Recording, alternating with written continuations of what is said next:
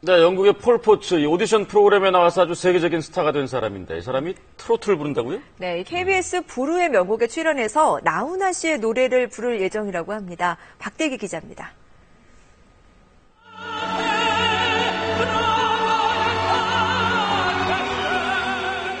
평범한 외모의 휴대전화 외판원에서 오디션 프로그램으로 깜짝 스타가 된 폴포츠.